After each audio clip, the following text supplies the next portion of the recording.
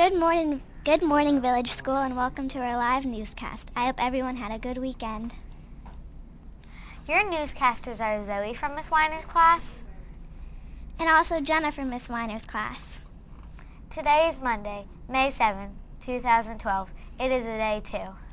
Today's character character education thought of the day is go to bed early so that you get enough sleep to stay focused during testing. Now to our weather center.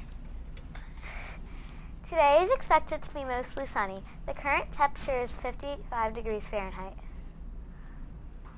The high will expected to be 70 degrees Fahrenheit with a low of 50 degrees Fahrenheit. Tomorrow will be cloudy with a chance of showers with a high of 76 and a low of 58. Looking at the radar, we, most, we mostly see sunny skies for today. There will be outdoor recess.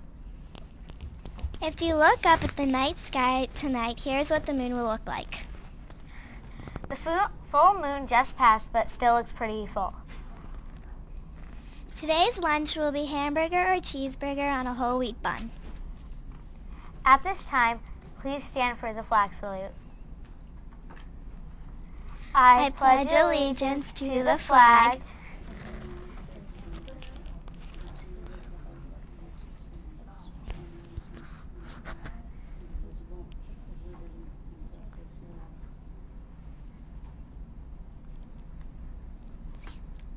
Today is the last day to, to pay and submit your raffle tickets for a chance to be teacher for a day.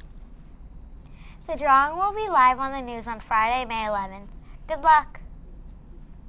For the VES News Network, this is Zoe signing off. And Jenna signing off. Tune in tomorrow for another edition of the VES News. Have, Have a marvelous Monday and good luck on the test.